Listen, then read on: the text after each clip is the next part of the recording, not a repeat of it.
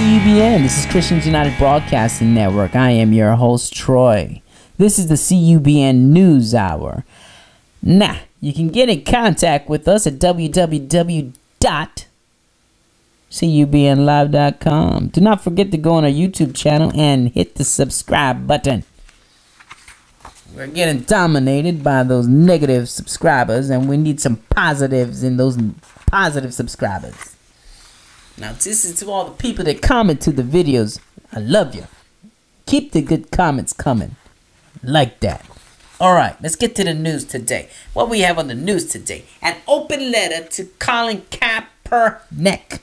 Now, Colin Kaepernick was one of my favorite football players. Still is my favorite football player. Not my favorite. Uh, Aaron Rodgers is my favorite from Green Bay Packers. That by far is my favorite. My brother's team is San Francisco 49ers. Now he that was one of his favorite quarterbacks right there. But we all got to step back every once in a while and understand why these people think the way they think. Come on now. Whew. You're obviously getting a ton of responses to your decision to sit during the national anthem, both negative and positive. But as I just read that you intend to continue to sit during the signing of the uh, of the singing of the anthem, I felt your actions are common deserve yet another response. In short, I admire your courage, but I question your judgment. And there is due cause for many to charge you with hypocrisy. Are you sure your actions were righteous? Explaining why you will continue to sit, you said. I'm going to continue to stand with the people that are being oppressed to me. This is something that has to change. When there's significant change, and I feel like that represents what it's supposed to represent, this country is representing people that way that it's supposed to. I'll stand. Again, I admire your courage, since it is very possible that this incident will cost you millions of dollars in the coming years. And you will follow, yes, and will follow you the rest of your professional career. So this is not an easy thing to do. And I think it's excellent that you feel a responsibility to use your very public platform to be a role model. That too is commendable. But that doesn't mean it is right. First, when you take an individualistic stand like this, you are putting your whole organization and most particularly your whole team in a negative light. Mm. Isn't team first the men mentally on the on which the NFL is built? Aren't you taught to put the good of the team before your personal interests and points of view? And as you've been struggling on the field for some time now, haven't you expected your team to have your back? Yet now you've decided that getting your personal message out is more important than cultivating team solidarity. Is that a right thing to do? As the New York Giant player Victor Cruz said, the flag is the flag, regardless of how you feel about things that are going on in America today. And the things that are going on across the world with gun violence and things of that nature, you've got to respect the flag. And you've got to stand up with your teammates. It's bigger than just you, in my opinion. I think you go up there you're with the team and you go and you know you pledge your allegiance to the flag and sing the national anthem with your team. And then you go about your business, whatever your beliefs are. You said last week to me, this is bigger than football. and it would be selfish on my part to look the other way. Perhaps it's the excellent opposite. Perhaps your act was actually selfish. Second, many of your fans find it odd that you can so easily bash the very country that enabled you to earn more money in a few years than most of us can imagine earning in several lifetimes. In fact, you're playing in a league where more than 70% of players are people of color. Yet they enjoy equal opportunity, equal stardom, and equal pay. Perhaps you could have chosen a better setting for a for a protest than during the national anthem before an NFL game. Can you see how this can seem hypocritical? And why protests are flag, which stands for the things that make America great. As Dr. Ben Carson said, you disrespected our national anthem and flag after so many people have sacrificed so that you could have the freedoms that you have today. Amen to that. So that you could make a very, very good living in this racist land. Amen. Third, and most importantly, you need to ask yourself if you are being moved by truth or by political talking points.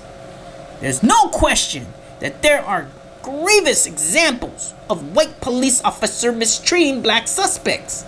But recent studies have indicated that black officers are more likely to shoot black suspects than are white officers.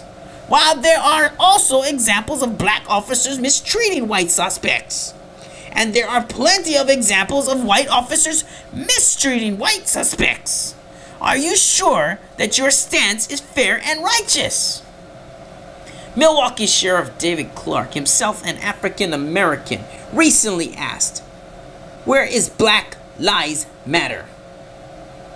If they cared about the lives of black people, they would be marching against the liberal establishment in these large urban areas and demanding a better quality of life and a better way of life. But no, that's not what they're doing. They're in, they're instead using the police as a straw man. Maybe you could be focusing on the larger, very real challenges faced by African Americans today. Americans. You said there are bodies in the street and people getting paid leave the getting away with murder. Leave and getting away with murder. But is this the biggest issue in the inner cities of our nation? And how many law enforcement officers are actually getting away with murder? When Dwyane Wade's cousin, the mother of four, was shot to death while pushing her stroller, was that the fault of allegedly racist police? When there are now 90 shootings a week in Chicago, is that the fault of allegedly, allegedly, allegedly racist police. When three-year-old Devon Quinn was shot and paralyzed when the car he was riding in was shot up, was that the fault of allegedly racist police? There's a reason that many black Americans are raising their voices against the Black Lives Matter movement. Some have dubbed it the Black Lie, the Black Lives Matter movement. And you would do well to consider what they have to say. Perhaps they could help you focus on the very real problems that they do that do exist in, in America, including issues of racial discrimination and injustice. And perhaps you could determine to act first and speak later, using your influence in a positive way behind the scenes and then saying to others, Follow my lead. That would be both courageous and righteous. Now, ladies and gentlemen, that I could not say that better myself. I mean, you gotta give that man a hands. That is amazing. I mean, Kaepernick is a very well-known quarterback for the San Francisco 49ers. Um, he did good, and then he started doing bad, got benched, and now he's still getting a lot of money to do what he do with his contract. I think he got like 100, 120 million dollars or something like that with his contract. Victor Victor Cruz from the New York Giants. Now that man is amen to amen to Victor Cruz. You guys got to understand that right now the narrative out is is a racist narrative. Now, if you go outside to a black person and you're white and you ask him for something to use his cellular phone or to do something, what will happen? Will he say yes or will he say no? If a black man go up to another black man and asks him to use the cellular phone, will that man, will the black man say yes to the black man? Now you can try that test out there and see what this world is actually coming to. But then you can go on the other route. Now, if a black man go to a white man and ask him to use the cellular phone, but dressed up in a way where he look like a gangster, then I pretty much think the white man is not gonna let him use the phone. But if the black man come up dressed up like a suit and tie, or not shorts, t-shirt, I pretty much would let the guy use my phone. Now for me, it is not racist. It's all about looking at that person and being making your own judgment. Should I let this guy use my phone or is he some kind of psycho mass murder killer? It's how you present yourself. You don't present yourself like give me your phone. Let me use your phone. You ain't gonna nobody gonna let you use the phone if you ask that way.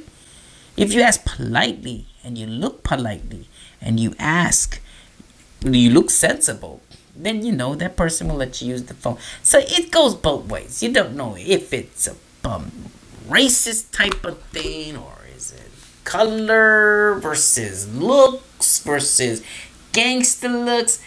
It all plays a part, but to me, it is not racist. It's definitely something else.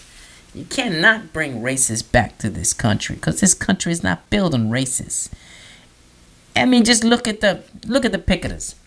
Look at the people that fight for it when this Black Lives Matter comes into play.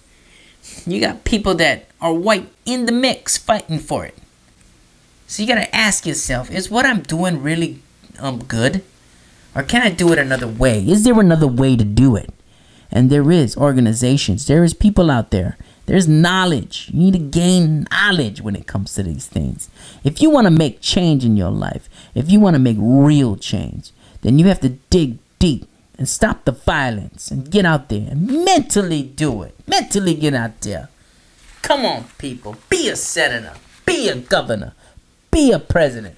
If that's what you want, you go do it. Take charge of you guys' lives. Stop being a, a gangster. Stop going around killing people, thinking you all that. Stop it, man. Let's love one another. Now, to this football player that Kaepernick. Right now, I just gotta pray for this man because he's just all messed up in the head. You can't look at the flag as being what what the people today are doing. You got to look at the flag of history, of what people did in the past. People died and fought and got rid of slavery and everything in this country. Made this country to what it is now a free country. Yes, we might have our faults, but it's not as bad as the third world countries. But you look at the flag for what it stood for you got to understand that. Those people in those graves died. Died to keep this country safe. That's what the flag is about. The flag is about a God. One nation under God. Come on, people.